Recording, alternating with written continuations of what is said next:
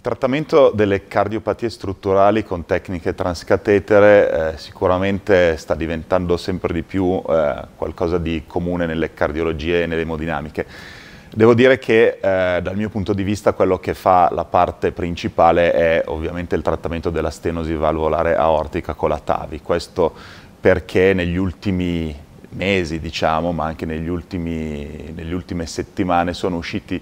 degli studi estremamente interessanti che hanno ampliato eh, in maniera significativa la fetta di pazienti che possono accedere a questo tipo di trattamento. Se all'inizio della nostra esperienza con la TAVI eravamo abituati a trattare pazienti che avevano un rischio chirurgico proibitivo o addirittura una controindicazione dell'intervento chirurgico,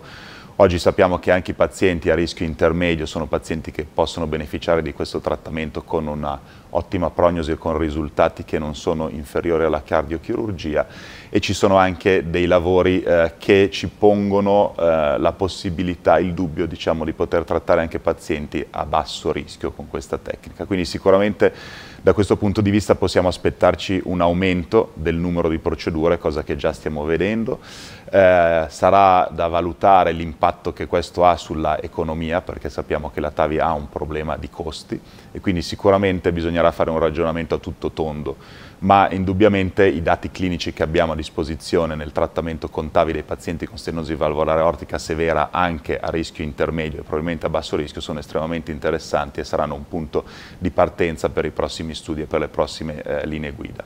Altro aspetto importante nel trattamento delle cardiopatie strutturali è ovviamente tutto quello che riguarda la valvola mitralica. Ad oggi siamo nettamente più indietro rispetto al trattamento della valvola aortica, ci sono comunque eh, nuovi dispositivi che si affacciano eh, sul campo di gioco, soprattutto quello che eh, stiamo aspettando sono le protesi transcatetere, ce ne sono in fase di studio ancora con moltissime limitazioni da un punto di vista anatomico, però indubbiamente questo è un campo che andrà espandendosi. Quello che abbiamo imparato dagli studi fatti col sistema MitraClip è che anche pazienti con rischio chirurgico elevato e insufficienza mitralica funzionale, se ben selezionati, e questo è il punto principale, possono avere un netto beneficio in termini di miglioramento sia della qualità che della quantità di vita.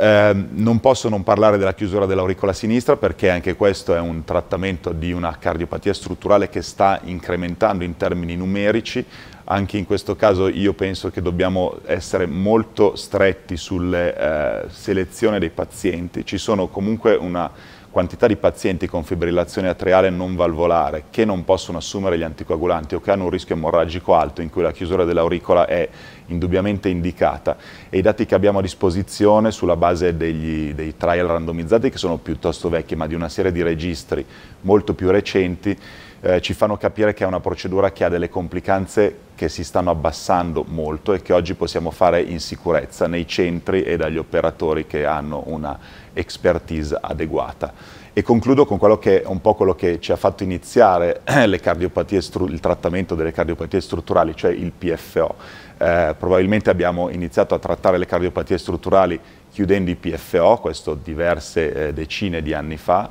eh, oggi abbiamo dei dati che eh, rafforzano l'evidenza del trattamento transcatetere del PFO nei pazienti che hanno già avuto un evento ischemico e quindi la prevenzione secondaria di un evento ischemico cerebrale, chiaramente diagnosticato ed in eh, valutazione collegiale con il neurologo, non è più la terapia medica, ma in chi ha un PFO è il trattamento transcatetere.